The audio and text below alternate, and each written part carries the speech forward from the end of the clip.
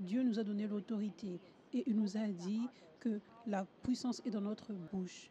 La vie et la mort sont au pouvoir de notre langue.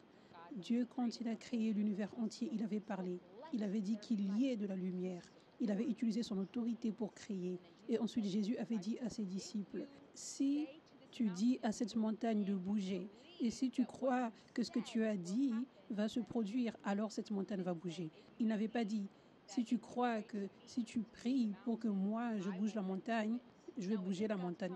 Maintenant, c'est la puissance de Dieu qui bouge la montagne. Je ne dis pas que Dieu est exclu de notre autorité.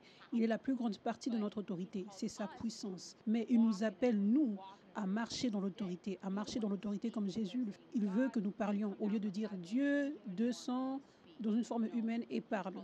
Non, il nous appelle à parler. Donc nous parlons et sa puissance se manifeste en partenariat avec nous. Donc notre partie est de parler, d'exécuter notre autorité. Notre partie n'est pas la partie du miracle.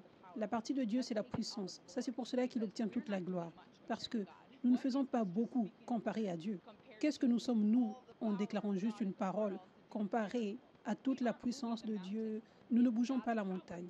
C'est la puissance de Dieu qui bouge la montagne. Mais Dieu choisit de nous utiliser. Dieu choisit de ne pas bouger la montagne jusqu'à ce que tu parles. Donc il avait dit à ses disciples, si tu parles, bouge à la montagne. Et si tu crois que ce que tu as dit va se produire, alors ça va se produire. Cela signifie, tu crois en l'autorité que tu as et tu parles.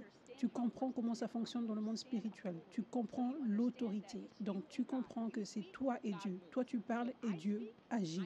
Donc si je parle, je sais que la montagne va bouger. Ça c'est quelque chose que beaucoup de chrétiens ne réalisent pas. C'est une grande partie de ce à quoi nous sommes appelés à faire sur cette terre. Ça c'est là que nous voyons dans nos propres vies la liberté et la guérison se produire et que nous la voyons se produire dans la vie d'autres personnes. Alors que nous déclarons la guérison, démon part,